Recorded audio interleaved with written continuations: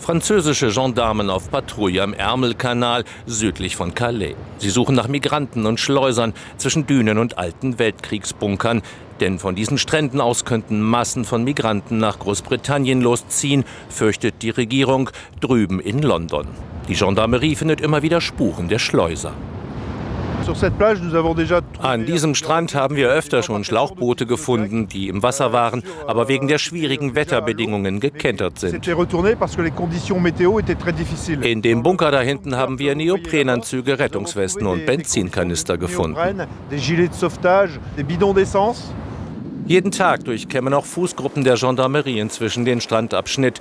Die lebensgefährliche Überfahrt in kleinen, seeuntüchtigen Booten soll so verhindert werden.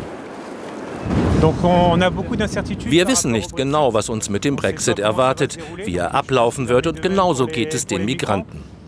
Bevor es soweit ist, versuchen sie noch mit allen Mitteln rüberzukommen, weil sie nicht wissen, was dann passiert, ob die Kontrollen eventuell noch stärker werden. Um sie geht es. Migranten, die jetzt vor allem aus dem Iran und Afrika kommen. Vor ein paar Tagen hat die Polizeilager der Flüchtlinge geräumt, wie hier in einem Randbezirk von Calais. Ein paar Tausend könnten in der Region noch ausharren, viel weniger als noch vor zwei Jahren.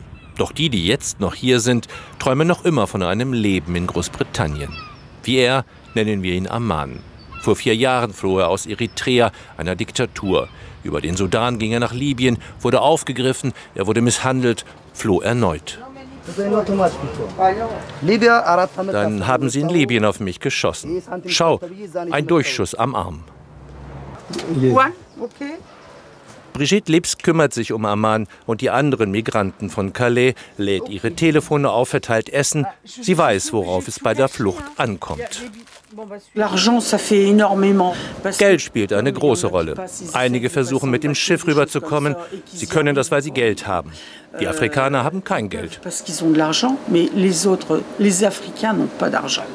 Es heißt, mindestens 6000 Euro verlangen die Schleuser. Je größer das Risiko der Reise, je kleiner die Boote, desto billiger kann es werden. Allein im Dezember seien etwa 200 Flüchtlinge so über den Ärmelkanal nach Großbritannien gekommen, erklärt die Grenzpolizei.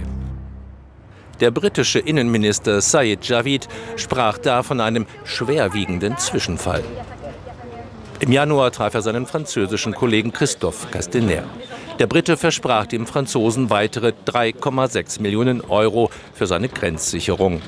Javids Vater war 1961 aus Pakistan gekommen. Unter den strikten Gesetzen, für die sein Sohn nun einsteht, hätte er heute keine Chance auf ein Bleiberecht gehabt, sagen Javids Kritiker.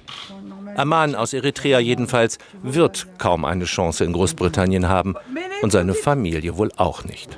Ich habe zwei Kinder, einen Sohn, der ist neun und eine Tochter, die ist jetzt acht und eine Frau. Ich habe sie alle vier Jahre nicht gesehen.